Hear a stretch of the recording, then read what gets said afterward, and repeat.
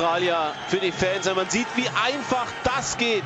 Hier der Kapitän legt vor und dann kommt dieser Abschluss. Und das ist der eingewechselte. Es ist der Mann, der im Sudan Meister wurde, im iranischen Top-Team stand schon in jungen Jahren, der zweitbeste Torschütze der AFC Youth Meisterschaft 2006